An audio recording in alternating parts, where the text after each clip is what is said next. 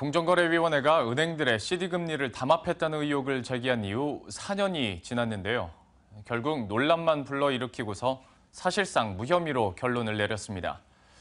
증거 불충분이 그 배경인데 공정위가 금융 현실을 무시한 채 너무 일방적으로 몰아붙였다는 비판을 피하기 어렵게 됐습니다. 이자경 기자가 보도합니다. 공정거래위원회는 국민, 농협 등 6개 은행의 CD금리 담합 혐의에 대해 심의 절차 종료를 의결했습니다. 심의 절차 종료는 사실관계 확인이 곤란해 법 위반 여부를 결정하기 어렵다는 이유로 결론을 내리지 못하고 사건을 종결시킨다는 의미입니다. 업계는 사실상 무혐의 판단으로 보고 있습니다.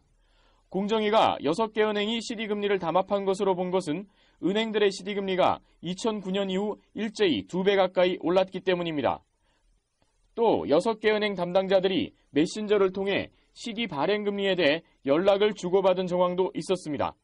담합을 통해 CD 금리를 올리면 은행 간 경쟁을 줄이고 CD 금리 연동 대출 수익을 올릴 수 있다는 점도 고려했습니다.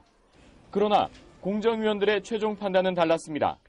공정위는 CD 발행 시점이 최대 3년 9개월이나 벌어지는 등 은행별로 격차가 상당해 같은 시기에 함께 금리를 올렸다고 보기 어렵다고 판단했습니다.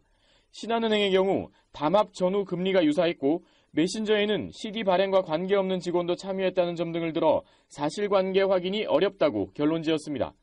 이번 결론은 공정위가 지난 2012년 7월 처음으로 사건을 인지하고 현장 조사를 벌인 지 4년 만입니다. 그럼에도 충분한 증거를 확보하지 못한 겁니다.